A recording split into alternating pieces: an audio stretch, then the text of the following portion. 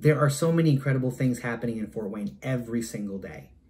From organizations that are stepping up to make our community what it should be, all the way to individuals that are taking problems within our community and taking the initiative to solve them themselves.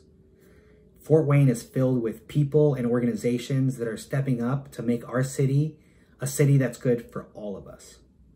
My name is Aaron Robles, and I'm the founder and CEO of Founders Spark. When I started Founders Spark, it started with a very simple question. What if we took all of these individuals and we brought them together? What if we shared their stories? Not just for the sake of knowing what we're up to, but to connect and inspire each other.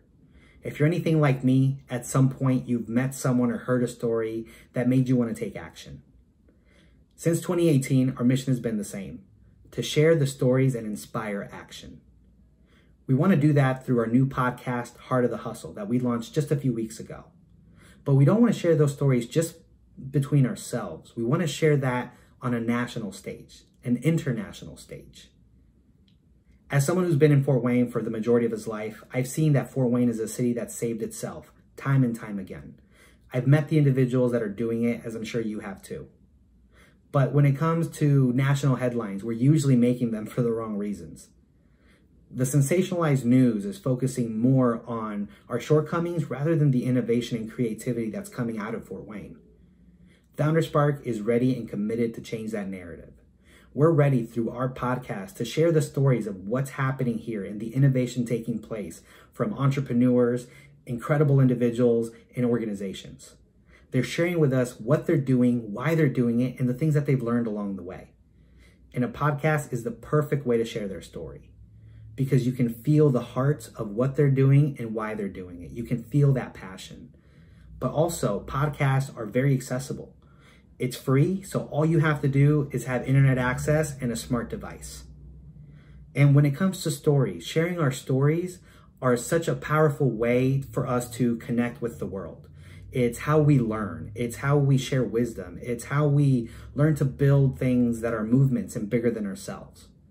It's a great way for us to connect with other individuals in terms of what our passions are. We can attract talent and tell the story of Fort Wayne for all of those people that are looking for a place to call home where innovation and ideas are welcome. And we're able to make the difference not only on a national level, but inspire globally. My hope is that with our winnings from this competition, we'll be able to pay the team that has worked so hard for so long for free to make this a reality because they understand what we could really do with this podcast on a national level. We want to take the foundation of what Heart of the Hustle could be and build that foundation so that we can inspire and share our story with the world for years to come.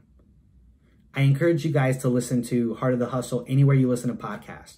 We're also on WBOI Presents on Wednesdays and Saturdays. Listen to the stories that we've shared so far and decide on your own if these are stories that are worth sharing with the world in terms of changing the narrative as to what's happening in Fort Wayne and the type of city that we are. Thank you.